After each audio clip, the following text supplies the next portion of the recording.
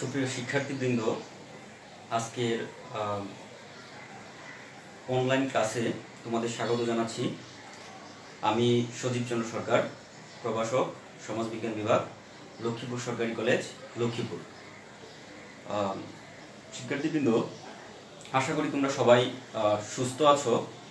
Corona মহামারীর কারণে আমরা সবাই এখন গৃহবন্দী। আর এই গৃহবন্দিত্বের কারণেই তোমাদের নিয়মিত একাডেমিক কার্যক্রম বন্ধ রয়েছে। আর এই বন্ধ সময়েই আমাদের লক্ষ্মীপুর সরকারি কলেজের সম্মানিত অধ্যক্ষ প্রফেসর মোহাম্মদ মাহবুবুল করিম মহোদয়, তোমাদের একাডেমিক কার্যক্রম চালু রাখার জন্য অনলাইন ক্লাসের ব্যবস্থা করেছেন এবং তারই অংশ হিসাবে আজকে তোমাদের সাথে আছি। আজকে আমরা আলোচনা করব একাদশ শ্রেণির সমাজবিজ্ঞান বিভাগের সমাজবিজ্ঞানের অষ্টম অধ্যায়। সামাজিক স্তরবিন্যাস এবং অসমতা অধ্যায়টি। সামাজিক স্তরবিন্যাস বা স্তরবিন্যাস মানব সমাজের একটা অভিন্ন বৈশিষ্ট্য। মানব সমাজের মানুষ, মানব সমাজ যখন সূচিত হয়, অর্থাৎ মানুষ যখন বন্য অবস্থা থেকে সমাজের সূচনা করে, তখন, তখনই আসলে সমাজের সাথে সাথে মানুষ স্তরবিন্যাসেরও সূচনা করে। এবং সমাজ বিকাশের বিভিন্ন পর্যায়ে এই স্তর বিন্যাসের পরিবর্তন হয়েছে। এক এক সময় এক এক ধরনের রূপ ধারণ করেছে। কিন্তু এই স্তর বিন্যাস কখনোই বিলুপ্ত হয়নি। এই স্তরবিন্যাস বা সামাজিক স্তর বিন্যাস শব্দটা এসেছে সোশ্যাল স্ট্রাটিফিকেশন বা ইংরেজি সোশ্যাল স্ট্রাটিফিকেশন এর বাংলা হচ্ছে সামাজিক স্তরবিন্যাস এই স্ট্রাটিফিকেশন শব্দটা আসছে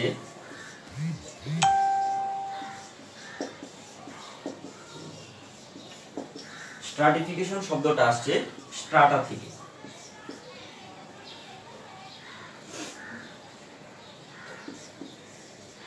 স্ট্রাটিফিকেশন শব্দটা আসছে ইংরেজি স্ট্রাটা শব্দ থেকে।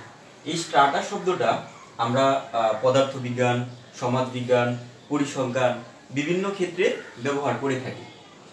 স্ট্রাটা বলতে আমরা বুঝি যে কোনো পদার্থ, ব্যক্তি, বস্তু বা সমাজ জীবনের গুণগত মানের ভিন্নতার পর্যায়। অর্থাৎ স্ট্রাটা হচ্ছে কোনো ব্যক্তি বস্তুর গুণগত মানের ভিন্নতার পর্যায়। যেমন আমরা কোনো ব্যক্তিকে ভালো, খারাপ ধনী, গরিব এরকমভাবে গুণগত মানের দিক থেকে বিভাজন করতে পারি। আবার কোনো বস্তুকে আমরা ভালো, খারাপ হিসেবে বিভাজন করতে পারি। এই যে বিভাজন করার প্রক্রিয়া, এটাই হচ্ছে স্ট্রাটা আর সোশ্যাল স্ট্রাটিফিকেশন বা সামাজিক স্তরবিন্যাস বলতে আমরা বুঝি যে সমাজ কাঠামোর অভ্যন্তরে বিদ্যমান বিভিন্ন ব্যক্তি, বস্তু, গোষ্ঠী এবং সামাজিক শ্রেণির ক্রমোচ্চ অবস্থানকে। অর্থাৎ সামাজিক স্তরবিন্যাস বলতে আমরা একটা ক্রমোচ্চ অবস্থানকে বুঝি। সমাজের অভ্যন্তরে আমরা যারা বসবাস করি, আমরা মানুষ যারা বসবাস করি তাদের মধ্যকার ক্রমোচ্চ অবস্থানটাই হচ্ছে স্ট্রাটিফিকেশন এই স্ট্রাটিফিকেশনকে অনেক সমাজবিজ্ঞানী অনেকভাবে সংজ্ঞায়িত করেছেন। তাদের মধ্যে একজন হচ্ছেন অকবার্ন ও নিমকফ অকবার্ন এবং নিমকফ বলেন যে যে প্রক্রিয়ায় সমাজস্থ ব্যক্তি, বস্তু বা সামাজিক শ্রেণীকে স্থায়ী অস্থায়ীভাবে এক এক পদমর্যাদায় অধিকারী বলে বিন্যস্ত করা হয়, তাকে স্তরবিন্যাস বলে। অর্থাৎ তিনি বলছেন যে এটা হচ্ছে মূলত একটা প্রক্রিয়া। স্তরবিন্যাসটা হচ্ছে একটা প্রক্রিয়া যার মাধ্যমে আমরা সমাজের ব্যক্তি বা গোষ্ঠীকে ক্রমবিন্যাস অনুসারে, স্থায়ী বা অস্থায়ীভাবে ক্রমবিন্যাস অনুসারে বিন্যস্ত করি বা সাজাই। আবার জিন্সবার্গ তিনি বলছেন যে স্থলবিন্যাস হলো প্রাধান্য ও বর্ষতার সূত্রে পরস্পর সম্পর্কিত স্থায়ী গোষ্ঠী বা শ্রেণীতে বিন্যস্ত সামাজিক স্তরবিভাগ তাহলে জিন্স প্যান্টের সংখ্যাটার মধ্যে তোমরা দেখবে যে এখানে প্রাধান্য এবং বর্ষতা উল্লেখ আছে। অর্থাৎ একদল প্রাধান্য বিস্তার করে এবং আরেক দল প্রাধান্য বিস্তারকারীর বর্ষতা বা প্রাধান্য বস্তারকারী বিস্তারকারীর নিকট বর্ষতা স্বীকার করে থাকে। তাহলে দুইটা শ্রেণির তৈরি হয়ে যায়। একটা হচ্ছে প্রাধান্য বিস্তারকারী আর একটা হচ্ছে বর্ষতা স্বীকারকারী। এইভাবে একটা বিভাজন তৈরি হয়ে যায়। এই বিভাজনটাকেই জিন্স পার্ট বলছে সামাজিক স্তরবিন্যাস তাহলে উপরোক্ত সংজ্ঞাগুলোর আলোকে আমরা বলতে পারি যে সামাজিক স্তরবিন্যাস হলো সমাজ কর্তৃক প্রতিষ্ঠিত গুরুত্বপূর্ণ সূচক অনুসারে সমাজের মানুষের মর্যাদার ভিত্তিতে বিভক্ত করা। অর্থাৎ সমাজ সমাজ যে সমস্ত গুরুত্বপূর্ণ বিষয়কে সূচক হিসেবে মান্য করে সেইগুলো অনুসারে সমাজের মানুষকে মর্যাদার ভিত্তিতে বিভক্ত করাই হচ্ছে সামাজিক স্তরবিন্যাস কোনো বিষয়কে বুঝতে হলে সংজ্ঞার পাশাপাশি বৈশিষ্ট্যগুলো বুঝতে বৈশিষ্ট্যগুলো যদি আমরা বুঝতে পারি, তাহলে ওই বিষয়টাকে ভালোভাবে অনুধাবন করা যায়। আমরা সামাজিক স্তরবিন্যাসের সংজ্ঞা বোঝার চেষ্টা করলাম। এখন আমরা এই সংজ্ঞাগুলো যদি ভালোভাবে লক্ষ্য করি, তাহলে দেখব যে এই সামাজিক স্তরবিন্যাসের কতগুলো বৈশিষ্ট্য আমরা বের করতে পারি। বা সংজ্ঞাগুলো থেকেই সামাজিক স্তরবিন্যাসের কতগুলো বৈশিষ্ট্য আমরা বের করতে পারব। তাহলে সামাজিক স্তরবিন্যাসের বৈশিষ্ট্যগুলো কি কি?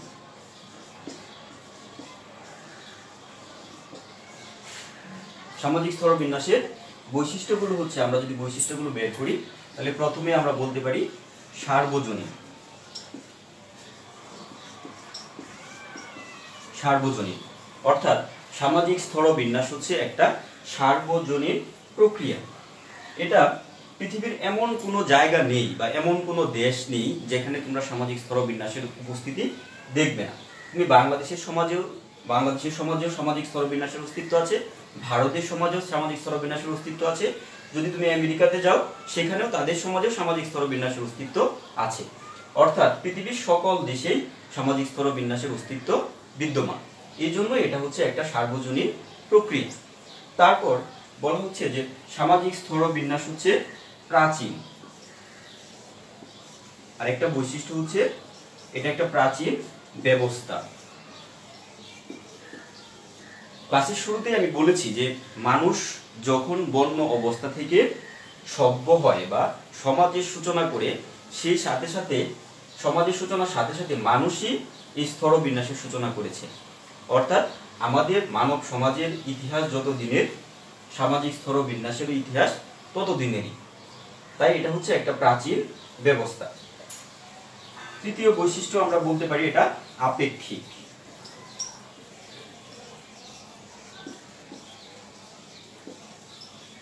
সামাজিক স্তরবিন্যাসটা হচ্ছে আপেক্ষিক। অর্থাৎ সামাজিক স্তরবিন্যাস এক এক সমাজে এক এক রকম।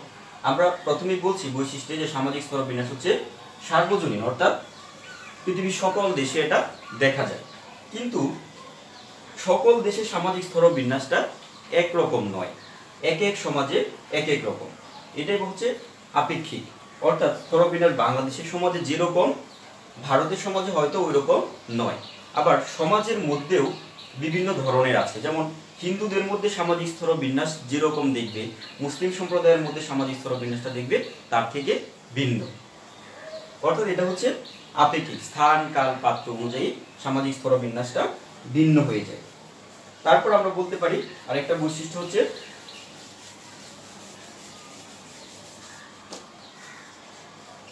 দীর্ঘস্থায়ী।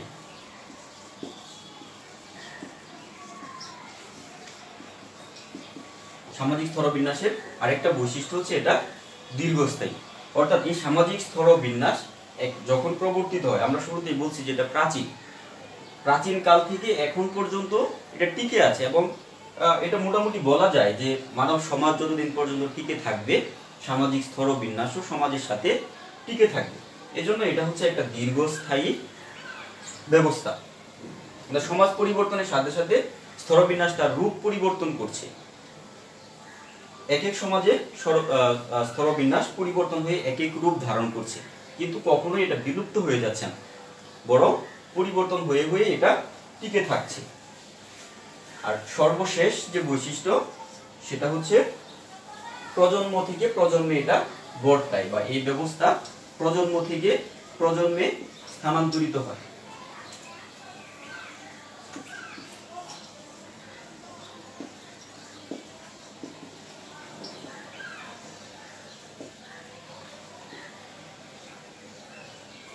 সামাজিক স্তরবিন্যাস এক প্রজন্ম থেকে আরেক প্রজন্মে বয়ে চলে বা এক প্রজন্ম থেকে আরেক প্রজন্ম এটাকে বহন করে চলে। যেমন ধরো আমাদের ভারতীয় উপমহাদেশের একটা গুরুত্বপূর্ণ সামাজিক স্তরবিন্যাস হচ্ছে আহ, বর্ণ জাতি বর্ণ প্রথা এই জাতি বর্ণপ্রথা কিন্তু এক প্রজন্ম থেকে আরেক প্রজন্মে আমরা গ্রহণ করে নিয়ে চলছি। অর্থাৎ এই জন্য বলা হচ্ছে যে সামাজিক স্তরবিন্যাস প্রজন্ম থেকে প্রজন্মে বর্তায়। তাহলে প্রিয় শিক্ষার্থীরা, আমরা জানার চেষ্টা করলাম। প্রথমত জানলাম যে সামাজিক স্তর বিন্যাস কি? সামাজিক স্তর বিন্যাসকে সমাজবিজ্ঞানীরা কীভাবে সংজ্ঞায়িত করেছেন? সেই সাথে সামাজিক স্তর বিন্যাসের বৈশিষ্ট্যগুলো কি কি? তাহলে বৈশিষ্ট্যগুলোকে যদি আমরা আবার বলি, যে বৈশিষ্ট্যগুলো প্রথমে আমরা বললাম যে এটা হচ্ছে একটা সার্বজনীন ব্যবস্থা। তারপর আমরা বললাম যে সামাজিক স্তর বিন্যাস আপেক্ষিক অর্থাৎ পৃথিবীর এক এক জায়গায় এক এক রকম। তারপর বললাম যে সামাজিক স্তর বিন্যাস দীর্ঘস্থায়ী, সামাজিক স্তরবিন্যাস প্রাচীন। আরও অনেকগুলো বৈশিষ্ট্য আমরা বের করতে পারি। যেমন আমরা বলতে পারি যে সামাজিক স্তরবিন্যাস হচ্ছে একটা সামাজিক ব্যবস্থা। সামাজিক ব্যবস্থা কেন বললাম? কারণ সামাজিক স্তরবিন্যাস কিন্তু আসলে মানুষই এই সমাজে নিয়ে আসছে। সৃষ্টির শুরুতে, অর্থাৎ মানব সমাজের শুরুতে বা সভ্যতার শুরুতে বলা হয় যে সামাজিক স্তরবিন্যাস ছিল না। কারণ ওই সময় আসলে মানুষ শিকার এবং খাদ্য সংগ্রহ ভিত্তিক জীবন ধারণ করে থাকতো। ওই সময়টাতে বলা হয় যে সামাজিক স্তরবিন্যাস আমাদের সমাজে ছিল না। কিন্তু পরবর্তীতে আমরা যখন সভ্য হতে শুরু করি, আমাদের সমাজে ব্যক্তিগত সম্পত্তির ধারণা উদ্ভব হয় বা ব্যক্তিগত সম্পত্তি আসে, সেই সাথে সাথে সামাজিক স্তরবিন্যাসও চলে আসে। তাহলে এই চলে আসাটা কিন্তু নিজে থেকে চলে আসে নাই। এই চলে আসাটা মানুষ নিজেরাই তাদের সুবিধার্থে এই সামাজিক স্তরবিন্যাসটাকে নিয়ে আসছে। এই জন্য বলা হচ্ছে যে সামাজিক স্তরবিন্যাস সামাজিক।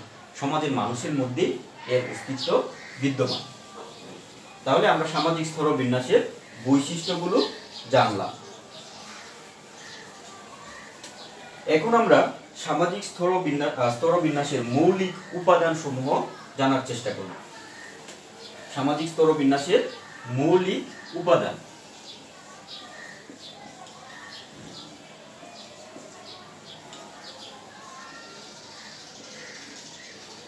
সামাজিক স্তরবিন্যাসের মৌলিক উপাদান। যেমন কি কি স্তরবিন্যাস হয়?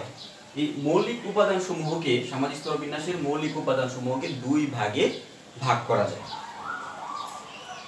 একটা হচ্ছে জৈবিক এবং আরেকটা হচ্ছে অজৈবিক। জৈবিক উপাদান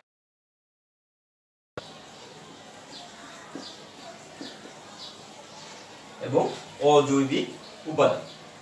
জৈবিক উপাদানগুলোর মধ্যে কি কি আছে?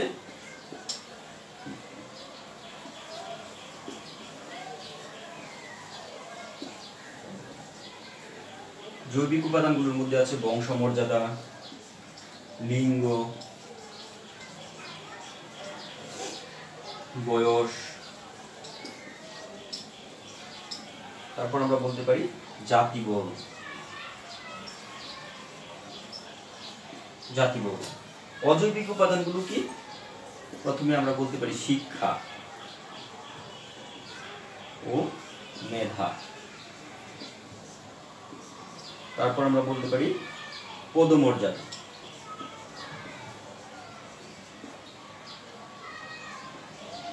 পদ মর্যাদা তারপর ক্ষমতা।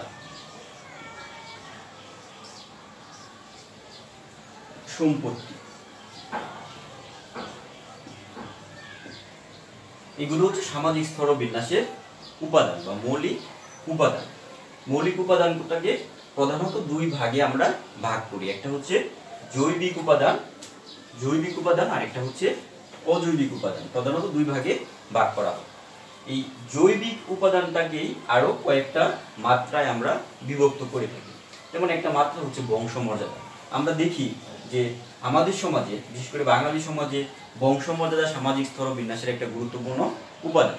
যাদের বংশমর্যাদা বেশি, তারা সমাজে স্বাভাবিকভাবেই বেশি মর্যাদার অধিকারী হিসেবে বা বেশি মর্যাদাবান হিসেবে বিবেচিত হয়। এই জন্য দেখবে যে আমাদের সমাজে চৌধুরী, সৈয়দ এরকম কিছু টাইটেল আছে, যেগুলোকে আমরা আভিজাত্যের প্রতীক বলে মনে করি। তারপর আমরা আরেকটা মাত্রা হচ্ছে লিঙ্গ। অর্থাৎ লিঙ্গ অনুসারে সামাজিক স্তরবিন্যাস হয়ে থাকে। লিঙ্গ বলতে আমরা বুঝি যে ছেলে অথবা নারী অথবা পুরুষ। নারী অথবা পুরুষ। এই নারী অথবা পুরুষ অনুসারেও সমাজ স্তরবিন্যাস দেখা দেয়। যেমন একবারে মানব সমাজ যখন সূচিত হতে থাকে বা মানব সমাজের শুরুতে আমাদের সমাজ ছিল মাতৃতান্ত্রিক। অর্থাৎ মা ছিল এখনকার সমাজ হচ্ছে পিতৃতান্ত্রিক পিতা হচ্ছে পরিবারের প্রধান বা পিতা পরিবারের কর্তা। কিন্তু আদিম সময়ে বা একটা সময় যখন আমরা সবেমাত্র কৃষির আবিষ্কার করি, কৃষির আবিষ্কারের মাধ্যমে আমরা সমাজের সূচনা করি, সভ্যতার সূচনা করি, সেই সময়টাতে সমাজ ছিল মাতৃতান্ত্রিক। কিন্তু এখন সেই সমাজই পরিবর্তন হয়ে আবার পিতৃতান্ত্রিক সমাজে পরিবর্তন হয়ে গেছে। তাহলে এই লিঙ্গটা হচ্ছে স্তরবিন্যাসের একটা উপাদান। তারপর হচ্ছে বয়স। বয়সের ক্ষেত্রেও স্তরবিন্যাস হয়ে থাকে। এমন দেখবে যে এক এক বয়স, এক এক বয়সের মানুষ সমাজে এক এক রকমের মর্যাদা পেয়ে থাকে। এখন সমাজে সব থেকে বেশি মর্যাদাবান কারা হন? বা আমাদের পরিবারের সমাজে মর্যাদা সম্পন্ন ব্যক্তিকে যা যিনি ইনকাম করেন বা যার আয়ে পরিবার চলে।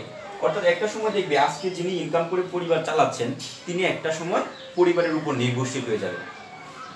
আবার তার জায়গাটা দখল করে নেবে অন্য আরেকজন। এইভাবে সামাজিক স্তরবিন্যাস, বয়স অনুসারে সামাজিক স্তরবিন্যাস দেখা দেয়। আরেকটা হচ্ছে জাতি বর্ণ। জাতি বর্ণ অনুসারেও সামাজিক স্তরবিন্যাস হয়। বিশেষ করে আমাদের ভারতীয় উপমহাদেশের সমাজে জাতি বর্ণ সামাজিক স্তরবিন্যাসের প্রধান ধরন। তোমরা দেখবে যে বর্ণপ্রথা, আমরা যেটাকে বলি বর্ণপ্রথা, সেটা আমাদের ভারতীয় সমাজের একটা অবিচ্ছেদ্য অংশ। বর্ণপ্রথা অনুসারে যে এক একজন, জন্ম অনুসারে এক একজন এক এক রকম মর্যাদা আমাদের সমাজে পেয়ে থাকে। তাহলে এই চারটা উপাদান হচ্ছে সামাজিক স্তর বিন্যাসের জৈবিক উপাদান। আরেকটা উপাদান হচ্ছে অজৈবিক। অজৈবিক উপাদানের মধ্যে প্রথমে আমরা বললাম শিক্ষা ও মেধা। শিক্ষা অনুসারে তোমরা দেখবে যে শিক্ষা এবং মেধা অনুসারে সমাজে আমরা মানুষের মধ্যে বিভাজন করে থাকি। যার শিক্ষা বেশি, মেধা বেশি, সমাজে সে সব থেকে বেশি মর্যাদাবান হিসেবে বিবেচিত হয়। পদমর্যাদা। পদমর্যাদা অনুসারেও স্তরবিন্যাস হয়ে থাকে। এবং সকল ক্ষেত্রে তুমি একটা অফিসে গেলেও দেখবে যে পদমর্যাদা অনুসারে সেখানে বিভাজন করা আছে। অফিসের যিনি বস তার জন্য মর্যাদা তার মর্যাদা একরকম। যিনি কর্মচারী, তার মর্যাদা একরকম। অর্থাৎ পদমর্যাদা অনুসারেও স্তরবিন্যাস হয়ে থাকে। ক্ষমতা। ক্ষমতা সামাজিক স্তরবিন্যাসের আরেকটা গুরুত্বপূর্ণ উপাদান। দেখবে যে ক্ষমতা চেঞ্জ হওয়ার সাথে সাথে মর্যাদায় চেঞ্জ হয়ে যায়। যখন যারা ক্ষমতা থাকে, তারাই সব থেকে বেশি মর্যাদা উপভোগ করে থাকে। আর সর্বশেষ হচ্ছে সম্পত্তি। সামাজিক স্তরবিন্যাসের অজৈবিক উপাদানের আরেকটা উপাদান হচ্ছে সম্পত্তি। সম্পত্তি অনুসারে আমরা দেখি যে সমাজে মানুষের অবস্থান নির্ধারিত। বিশেষ করে তোমরা যদি গ্রামীণ বাংলাদেশে যাও, তাহলে দেখবে যে গ্রামীণ সমাজে যার সম্পত্তি, অর্থাৎ জমির পরিমাণ বেশি, সে সব থেকে বেশি মর্যাদাবান। যার সম্পত্তি যত বেশি, সমাজে তার ভূমিকা, তার গুরুত্ব তত বেশি। আবার তুমি শহরের সমাজে চলে আসো। শহরের সমাজে কৃষি জমির অস্তিত্ব ওইরকম নেই বললেই চলে। এখানে দেখবে যে এলাকা ভিত্তিক, কোনো কোনো কোনো এলাকা অভিজাত এলাকা, কোনো এলাকা হচ্ছে বস্তি এলাকা। যেমন আমরা ঢাকা শহরে যদি যাই, তাহলে ঢাকা শহরের সব থেকে যদি বলি যে গুলশানের বাসিন্দা, তাহলে আমাদের মনে হয় যে ওনারা অভিজাত। কারণ গুলশান হচ্ছে বাংলাদেশের অভিজাত এলাকা। ওখানে যারা বসবাস করে, সবারই প্রচুর সম্পত্তি, প্রচুর মর্যাদা থেকে থাকে। আবার যদি বস্তি এলাকা, আবার ঢাকা শহরে দেখবে যে হয়তো গুলশানের পাশেই কোনো বস্তি এলাকা আছে, যাদের জীবন ব্যবস্থা, মর্যাদা ওই গুলশানের অধিবাসীদের থেকে অনেক কম। তাহলে আমরা বলতে পারি যে সম্পত্তি অনুসারে আমরা সমাজে সামাজিক স্তর বিন্যাস দেখে থাকি। তাহলে আমরা দেখলাম হচ্ছে সামাজিক স্তর বিন্যাসের উপাদান। এই উপাদানগুলোকে আমরা দুই ভাগে, প্রধানত দুই ভাগে ভাগ করি, একটা জৈবিক এবং আরেকটা অজৈবিক। এই জৈবিক উপাদানগুলোকে আমরা আবার কয়েকটা মাত্রাতে বিভক্ত করে ব্যাখ্যা করলাম। যেমন বংশমর্যাদা, লিঙ্গ, বয়স এবং জাতিবর্ণ আবার অজৈবিক উপাদানগুলোকেও আমরা কয়েকটা মাত্রাতে বিভক্ত করে ব্যাখ্যা করলাম। শিক্ষা ও মেধা, পদমর্যাদা, ক্ষমতা, সম্পত্তি। পরবর্তীতে আমরা দেখব হচ্ছে সামাজিক স্তর বিন্যাসের প্রকারভেদ।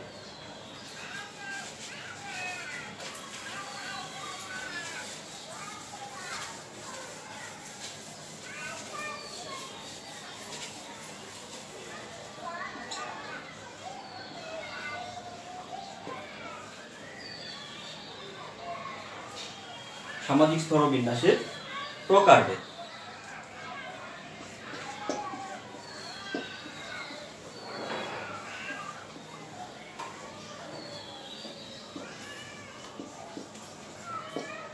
টিভি বটমোর তার সোসিওলজি গ্রন্থে সামাজিক স্তরবিন্যাসের চারটি ধরনের কথা বলেছেন বা চার ধরনের সামাজিক স্তরবিন্যাসের কথা বলেছেন। চার প্রকার সামাজিক স্তরবিন্যাসের কথা বলেছেন। আমরা এগুলো এখন জানার চেষ্টা করব।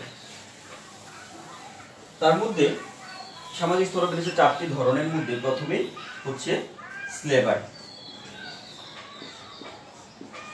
প্রথম তিনি বলছেন স্লেভারি তারপর হচ্ছে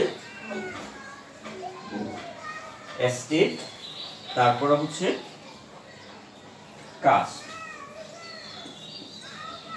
সর্বশেষ হচ্ছে class and social group class and status group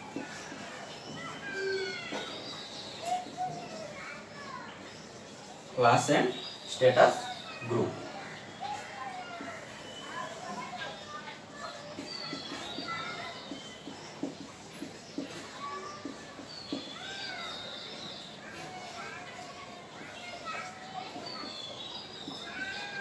অর্থাৎ টিবি ভটমোর তার সোসিওলজি গ্রন্থে সামাজিক স্তরবিন্যাস বা স্ট্রাটিফিকেশনকে সোশ্যাল স্ট্রাটিফিকেশনকে এই চার ভাগে বিভক্ত করেছেন।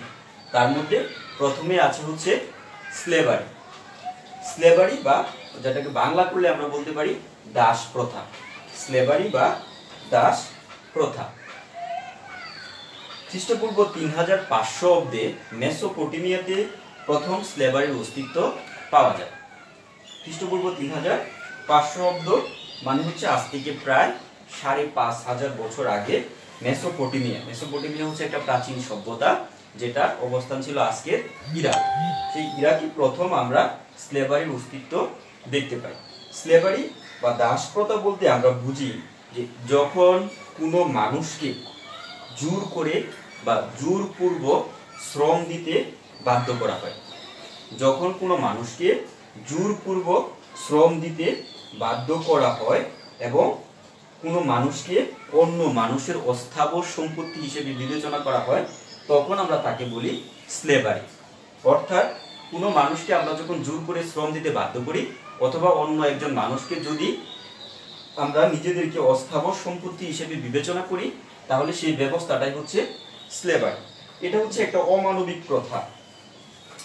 British সমাজবিজ্ঞানী L T Hobhouse, L T Hobhouse. তিনি স্লেভারির একটা সংজ্ঞা প্রদান করেছেন। তিনি বলেছেন যে দাস হচ্ছে এমন একটা লোক। দাস হচ্ছে এমন একটি লোক যাকে সমাজের আইন ও প্রথা অন্যের সম্পত্তি হিসেবে বিবেচনা করে। অর্থাৎ দাস হচ্ছে সেই লোক যাকে সমাজের আইন এবং প্রথা অন্য মানুষের সম্পত্তি হিসেবে বিবেচনা করে থাকে। স্লেভারি সব থেকে স্লেভারিটা সব থেকে মারাত্মক রূপে ছিল হচ্ছে প্রাচীন গ্রিক এবং রোমান সভ্যতায়। প্রাচীন গ্রিক এবং রোমান এই দুইটা সভ্যতায় ছিল দাস নির্ভর। আমরা আধুনিক জ্ঞান বিজ্ঞানে, আধুনিক জ্ঞান বিজ্ঞানের অগ্রপথিক যাদেরকে বলে থাকি, সক্রেটিস, প্লেটো, এরিস্টোটল, তারা সবাই ছিলেন গ্রিক সভ্যতার মানুষ বা প্রাচীন গ্রিক সভ্যতার অধিবাসী। এই তাদের সময় কিন্তু গ্রিকে বা প্রাচীন গ্রীসে দাস প্রথা প্রচলিত ছিল। এবং এই এরিস্টোটল, প্লেটু কেউই কিন্তু দাস প্রথার বিরুদ্ধে কখনো কিছুই বলেননি। বরং এরিস্টোটল দাস প্রথাকে সমর্থন করে গেছেন। তিনি বলেছেন যে, কিছু মানুষ জন্মগতভাবে অন্যের উপর আধিপত্য বিস্তার করে বা কিছু মানুষ জন্মগ্রহণ করে অন্যের প্রভু হিসাবে। আবার কিছু মানুষ জন্মগ্রহণ করে অপরের বর্ষতা শিকারের জন্য। অর্থাৎ তিনি এটাকে একটা স্বাভাবিক প্রক্রিয়া হিসেবে ব্যাখ্যা করছেন যে কিছু মানুষ তার জন্মই হয় প্রভুত্ব করার জন্য, আবার কিছু মানুষের জন্ম হয় অপরের বর্ষতা স্বীকার করার জন্য। আবার এরিস্টোটল এই দাস প্রথাকে বলেছেন লিভিং টুলস, বা দাসদের বলছেন লিভিং টুলস হিসাবে। অর্থাৎ তিনি বলছেন যে দাসরা হচ্ছে জীবন্ত হাতিয়ার। আমরা যেমন আমাদের প্রয়োজনে বিভিন্ন ধরনের হাতিয়ার বা মেশিনারিজ ব্যবহার করি। দাসরাও ছিল এক ধরনের হাতিয়ার। শুধু গ্রিক সভ্যতায় নয়, মধ্যযুগে সমগ্র পৃথিবীতে এই দাস প্রথা প্রচলিত ছিল এবং আধুনিক যুগেও, বিশেষ করে অষ্টাদশ এবং ঊনবিংশ শতাব্দীতে আমেরিকাতে দাস প্রথার অস্তিত্ব বিদ্যমান ছিল। আমাদের ভারতীয় সমাজেও এক ধরনের দাস প্রথার অস্তিত্ব ছিল, তবে সেটা হচ্ছে গৃহদাস প্রথা তাহলে আমরা দেখলাম যে মানব সমাজ যখন আদিম অবস্থা থেকে সভ্য হতে থাকে, তখনই আসলে স্লেভারির উদ্ভব হয়। এবং এটার উদ্ভব হয় যখন একদল মানুষের সাথে অন্য একদল মানুষের যুদ্ধ হতো। যুদ্ধে যারা পরাজয় বরণ করত, তারাই জয়ীদের দাস হিসেবে বিবেচিত হতো। এইভাবে প্রথম সমাজে বিভাজন তৈরি হয়ে যায়। একটা শ্রেণি হয়ে যায় দাসদের মালিক আর একটা শ্রেণি হয়ে যায় দাস। ফলে একটা বিভাজন তৈরি হয়ে যায়, শ্রমের বিভাজন। তো দাস প্রথা বর্তমানে এখন আধুনিক সমাজে প্রাচীন যে দাস প্রথা সেটার অস্তিত্ব নেই বললেই চলে। পরবর্তীতে যে স্তর বিভাজনটা আমরা দেখি, সেটা হচ্ছে এস্টেট। এস্টেট প্রথা। এস্টেট হচ্ছে মধ্যযুগে, বিশেষ করে মধ্যযুগের ইউরোপে, বিশেষ করে ফ্রান্সের সামন্ততান্ত্রিক সমাজ ব্যবস্থার একটা ধরন হচ্ছে এস্টেট সামন্ততন্ত্র বা সামন্ততন্ত্রের ইংরেজি হচ্ছে ফিউডালিজম।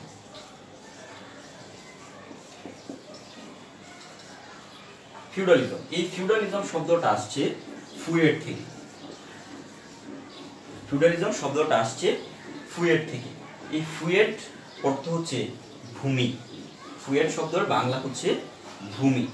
তাহলে ফিউডালিজম হচ্ছে মধ্যযুগের ভূমি কেন্দ্রিক একটা সমাজ ব্যবস্থা সামন্ততন্ত্র হচ্ছে মধ্যযুগে ভূমি কেন্দ্রিক একটা সমাজ ব্যবস্থা একটা রাজনৈতিক ব্যবস্থা, সেই সাথে একটা অর্থনৈতিক ব্যবস্থা।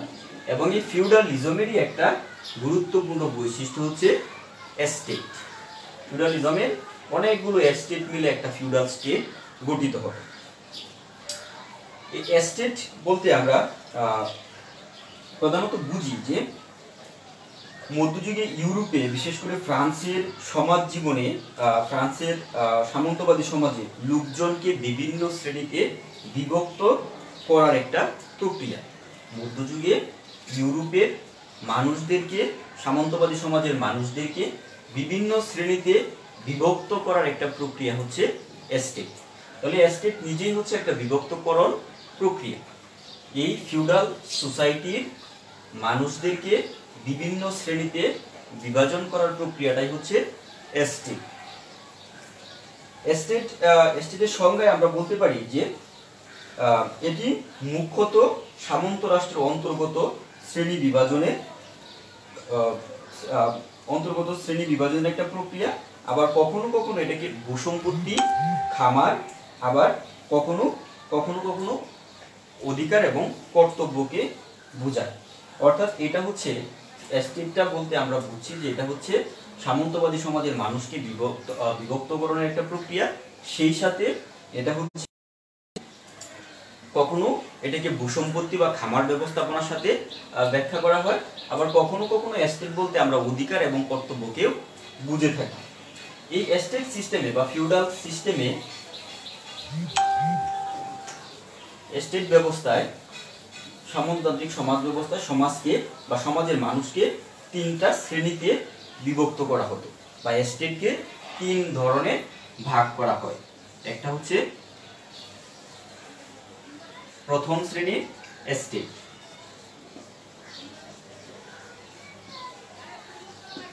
প্রথম শ্রেণির এস্টেট দ্বিতীয়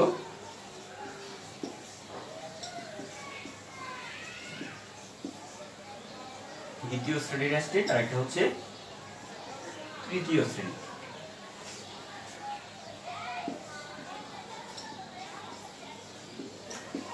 প্রথম শ্রেণির এস্টেটে ছিল হচ্ছে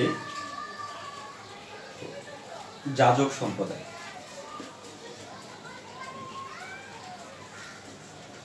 যাজক। দ্বিতীয় শ্রেণির এসটিতে ছিল অভিজাত। আর তৃতীয় শ্রেণির এসটিতে ছিল সাধারণ মানুষ। অর্থাৎ মধ্যযুগে সামন্ততান্ত্রিক সমাজ ব্যবস্থায় এই এস্টেটকে তিনটা শ্রেণীতে বিভক্ত করা হয় বা ওই সময়ের মানুষকে তিনটা শ্রেণীতে বিভক্ত করা হয়। প্রথম হচ্ছে প্রথম শ্রেণির এস্টেটে অন্তর্ভুক্ত ছিল যাজক সম্প্রদায়। যাদের কাজ ছিল পূজা অর্চনা করা বা পূজা অর্চনা ধর্মীয় কাজকর্ম, পুরোহিত্য এইগুলো করা।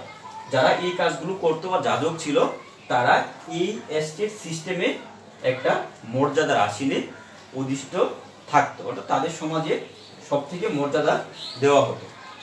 দ্বিতীয় শ্রেণীতে ছিল অভিজাত। এই অভিজাত বলতে এই মধ্যযুগে বা এই এস্টেট সিস্টেমে অভিজাতরাই ছিল জমির মালিক বা সামন্ততান্ত্রিক সমাজ ব্যবস্থায় জমির মালিকানা ছিল এই অভিজাতদের হাতে।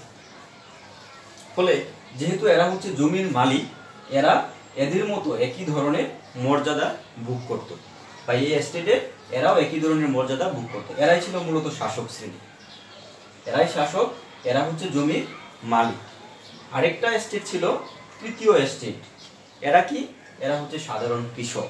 এরা কি করত? এরা এই অভিজাতদের জমিতে চাষাবাদ করত। এদের নিজের কোনো জমি জমা ছিল না। এরা এই অভিজাতদের জমি চাষ করত। তাহলে আমরা এখানে তিনটা শ্রেণি দেখলাম। প্রথম হচ্ছে যাজক। এরা, এদের কাজ ছিল মূলত ধর্মীয় কাজকর্ম।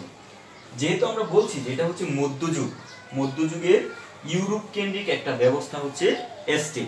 এবং আমরা জানি যে ইউরোপ হচ্ছে মূলত খ্রিস্টান ধর্মাবলম্বীদের আবাসভূমি। এবং এই খ্রিস্টান ধর্মে একটা গুরুত্বপূর্ণ অবস্থান হচ্ছে তাদের ধর্মগুরু, যাকে বলা হয় পোপ।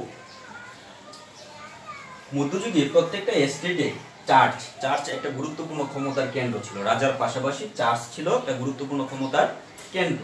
এই চার্চের যারা প্রধান থাকতেন, তারাই হচ্ছে যাজক। তারা সমাজে মর্যাদার আসীন ছিল। আরেকটা শ্রেণি ছিল অভিজাত। তারা ছিল মধ্যযুগে সকল কিছুর মালিক। এরা শাসনকর্তা। এরাই এদের মতো একই ধরনের মর্যাদা ভোগ করত। আরেকটা শ্রেণি ছিল সাধারণ মানুষ। যাদের কোনো ধরনের জমির মালিকানা ছিল না, এরা এই অভিজাতদের জমিতে চাষাবাদ করত। এবং এদের কোনো ধরনের অধিকার, অনেক ধরনের অধিকার এদের যত অধিকার ছিল, এদের অনেক ধরনের অধিকারই ছিল না।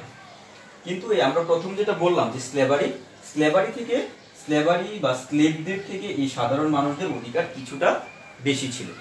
স্লেভারিতে যারা দাস ছিল, তাদের জীবনের নিরাপত্তা দাসদের ছিল না। যে একজন দাসের বেঁচে থাকা বা মারা যাওয়া, এটা নির্ভর করতো দাস মালিকের উপর। কিন্তু এখানে এই সাধারণদের কিছুটা অধিকার দেওয়া হয়। তারা এই অভিজাতদের জমিতে চাষাবাদ করতে বাধ্য থাকতো। কিন্তু অভিজাতরা চাইলেই তাদেরকে হত্যা করতে পারত অর্থাৎ এটা হচ্ছে দ্বিতীয় ধরনের স্তরবিন্যাসের দ্বিতীয় ধরন এস্টেট আমাদের ভারতীয় উপমহাদেশেও এক ধরনের সামন্ততান্ত্রিক ব্যবস্থা প্রচলিত ছিল। ইউরোপে যেরকম এস্টেট ছিল, আমাদের দেশে এরকম একটা ব্যবস্থা প্রচলিত ছিল, আমরা যেটাকে জমিদারি প্রথা বলে থাকি। তোমরা হয়তো লক্ষ্য করবে যে জমিদারি আমলে বা জমিদারির সময় যারা সাধারণ কৃষক থাকতো, তাদের কিন্তু জমির মালিকানা ছিল না। এদের মতো, এই সাধারণদের মতো আমাদের দেশেও জমিদারদের সাধারণ মানুষের কোনো জমির মালিকানা ছিল না। তারা এই জমিদারদের জমি চাষাবাদ করত। কিন্তু আমাদের ভারতীয় সামন্তবাদের সাথে ইউরোপীয় সামন্তবাদের অনেকগুলো পার্থক্য আছে। তৃতীয় ধরনের তৃতীয় যে স্তরবিন্যাস সেটা হচ্ছে বর্ণ প্রথা বা কাস্ট। Caste system. আমাদের ভারতীয় সমাজের একটা গুরুত্বপূর্ণ সামাজিক স্তরবিন্যাস হচ্ছে কাস্ট সিস্টেম বা প্রধান সামাজিক স্তর স্তরবিন্যাসও বলা যায় কাস্টকে। এই কাস্ট শব্দটা আসছে কাস্টা থেকে। কাস্ট শব্দটা স্প্যানিশ শব্দ কাস্টা থেকে আসছে। তোমাদের অনেক বই দেখবে যে এটা পর্তুগিজ শব্দ থেকে আসছে, এরকমও দেওয়া আছে। তো মূলত এটা হচ্ছে কাস্টা থেকে আসছে এবং এই কাস্টা শব্দের অর্থ হচ্ছে বংশ। কাস্টা মানে হচ্ছে বংশ। তাহলে কাস্ট হচ্ছে বর্ণ প্রথা বা জাতি বর্ণ প্রথা এই কাস্ট শব্দটা আসছে, স্প্যানিশ শব্দ কাস্টা থেকে, যার অর্থ হচ্ছে বংশ। তাহলে জাতি, বর্ণ বলতে আমরা আসলে কি বুঝি? আমরা যারা ভারতীয় উপমহাদেশের মানুষ, আমরা সবাই মূলত এই জাতি, বর্ণ প্রথার সাথে কোনো না কোনোভাবে পরিচিত। বিশেষ করে আমাদের ভারতীয় উপমহাদেশে হিন্দু সম্প্রদায়ের যে সমস্ত মানুষ আছে, তারা এই বর্ণপ্রথার সাথে খুব ভালোভাবে পরিচিত। এই বর্ণপ্রথা বলতে আমরা বুঝি যে বর্ণপ্রথা হচ্ছে একটা বদ্ধ সমাজ ব্যবস্থা। বর্ণপ্রথা একটা বদ্ধ সমাজ ব্যবস্থা যেখানে কোনো বিশেষ জাতি, বর্ণের সদস্য পদ অর্জন করতে পারে না। অর্থাৎ এই জাতি বর্ণ ব্যবস্থা একটা বদ্ধ ব্যবস্থা। কোনো মানুষ চাইলেই তার জাতি বর্ণকে পরিবর্তন করতে পারে না। এবং জন্ম হতেই জন্ম হতেই একজন মানুষের উপর সংশ্লিষ্ট জাতি বর্ণের সামাজিক মর্যাদা অর্পিত হয়ে যায়।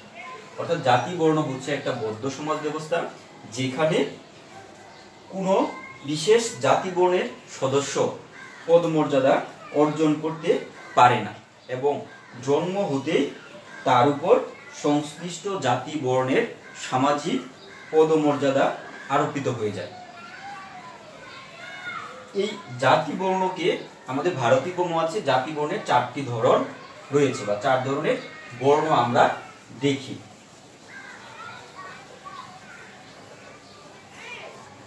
যেমন প্রথম হচ্ছে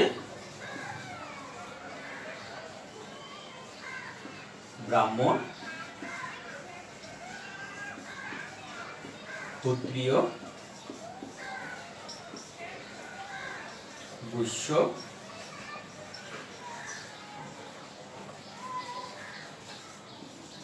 শূদ্র।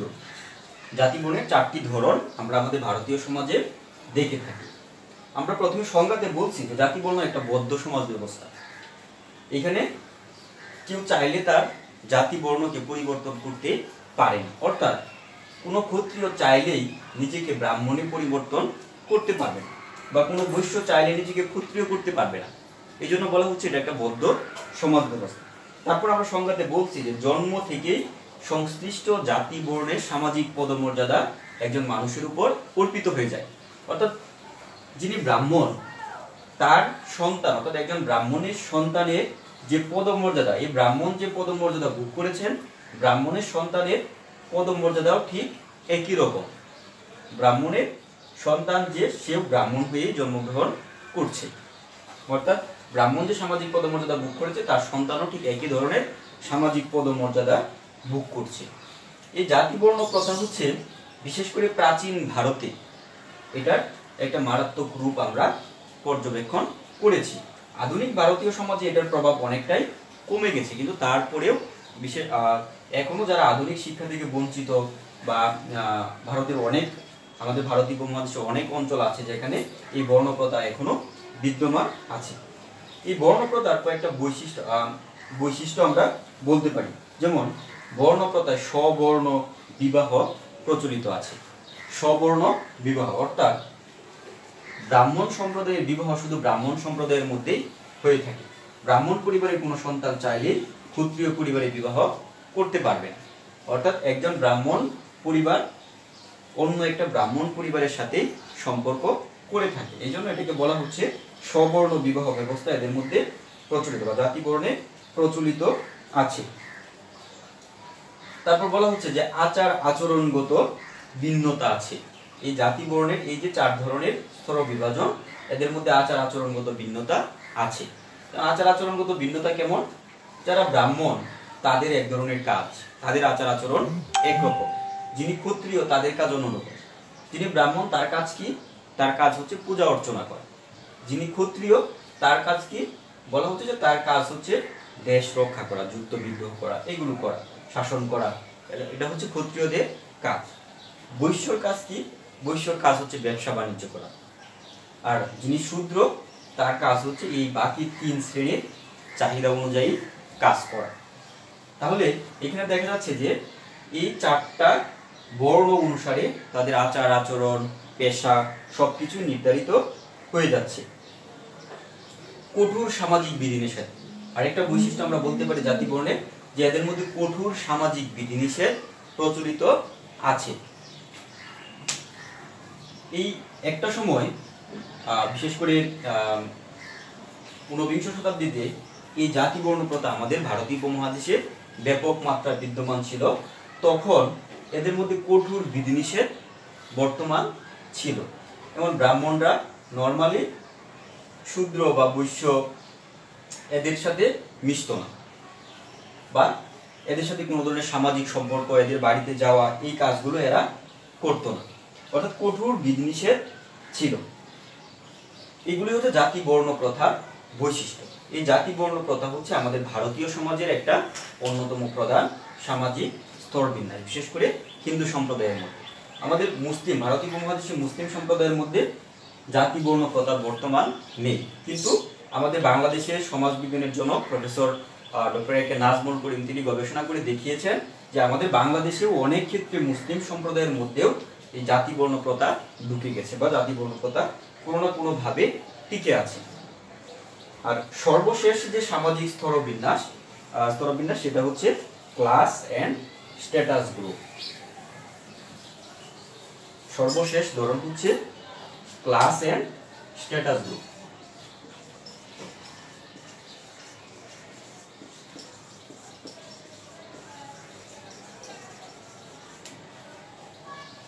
Class বা শ্রেণি। আধুনিক যুগের সামাজিক স্তর বিন্যাসের প্রধান ধরন হচ্ছে শ্রেণি। শ্রেণি বলতে আমরা কি বুঝি? শ্রেণি বলতে আমরা বুঝি যে একটি নির্দিষ্ট মূল্যবোধে বিশ্বাসী একটা সামাজিক গোষ্ঠী। একটা নির্দিষ্ট মূল্যবোধে বিশ্বাসী একটা সামাজিক গোষ্ঠীকে বলা হচ্ছে একটা শ্রেণি। শ্রেণি শব্দটা অনেক আগে থেকে আমাদের সমাজে প্রচলিত। কিন্তু এই শব্দটা সর্বাধিক ব্যবহার করেছেন কার্ল মার্কস। কার্ল মার্কসই প্রথম এই শ্রেণীকে তার আলোচনায় ব্যাপকভাবে ব্যবহার করেছেন এবং কার্ল মার্কস শ্রেণির একটা সংজ্ঞা দিয়েছেন। তিনি বলেন যে শ্রেণি হচ্ছে সমাজের ঐতিহাসিক বিবর্তনের ফল।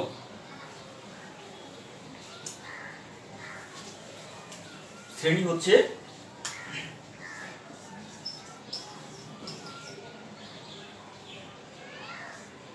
শ্রেণি হচ্ছে সমাজের ঐতিহাসিক বিবর্তনের ফল। তিনি বলছেন যে, যেখানে উৎপাদন পদ্ধতি ও উৎপাদন সম্পর্ক দ্বারা সমাজের মানুষের অবস্থান বিশ্লেষণ করা হয়। আমরা বললাম যে শ্রেণি বা ক্লাস কনসেপ্টটাকে সব থেকে বেশি ব্যবহার করেছেন কার্ল মার্কস এবং তিনি বলছেন যে শ্রেণি হচ্ছে সমাজের ঐতিহাসিক বিবর্তনের ফল এবং তিনি এও বলছেন যে এই শ্রেণির মাধ্যমে উৎপাদন পদ্ধতি ও উৎপাদন সম্পর্ক নির্ধারিত হয়। আবার ম্যাক্স ওয়েবার ম্যাক্স ওয়েবারও শ্রেণি কনসেপ্টটা ব্যবহার করছেন। তিনিও বলছেন যে সামাজিক শ্রেণি হলো কিছু মানুষের সমষ্টি।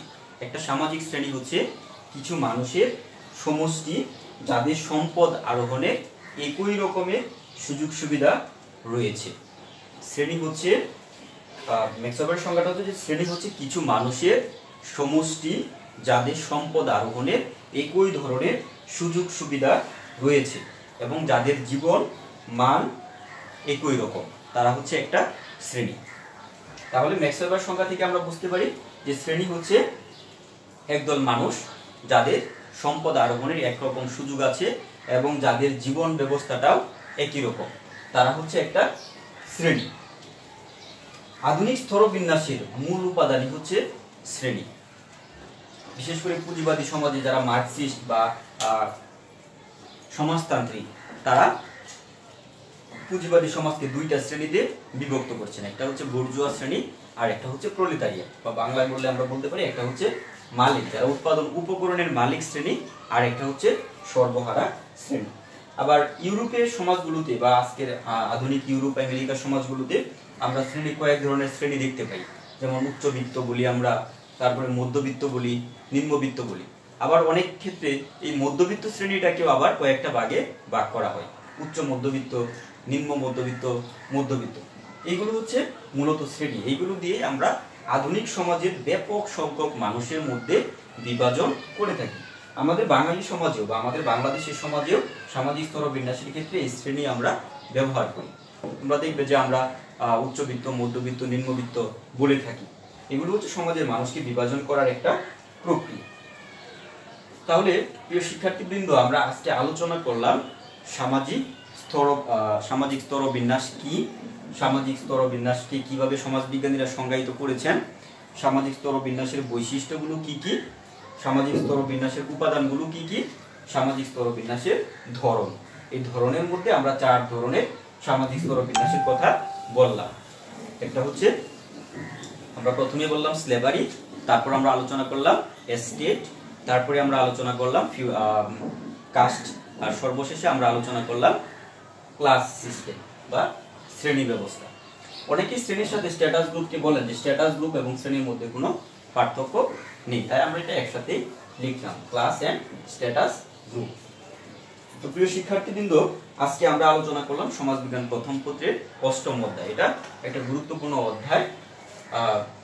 তোমরা সামাজিক স্তর বিন্যাস সামাজিক স্তর বিন্যাসের ধরন, আমাদের বাঙালি সমাজে বা আমাদের বাংলাদেশের সমাজে বাংলাদেশ সমাজের সামাজিক স্তর বিন্যাসের ধরনগুলো আজকের ক্লাস যদি বুঝে থাকো, তাহলে আমাদের বাংলাদেশের সমাজের স্তর বিন্যাসের ধরনগুলো তোমরা ব্যাখ্যা করতে পারবে। আমাদের বাংলাদেশের সমাজে কোন- কোন ধরনের সামাজিক স্তর বিন্যাসের অস্তিত্ব বিদ্যমান আছে?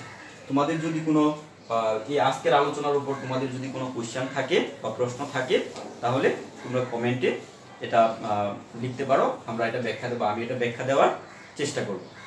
তো প্রিয় শিক্ষার্থীবৃন্দ, সবাইকে ধন্যবাদ এতক্ষণ আমার সাথে থাকার জন্য। আর করোনা দুর্যোগে সারা বিশ্বের মতোই আমরা আসলে একটা দুর্যোগকালীন সময় পার করছি। আমরা আশা করি তোমরা সবাই ভালো থাকবে, সুস্থ থাকবে এবং সরকারের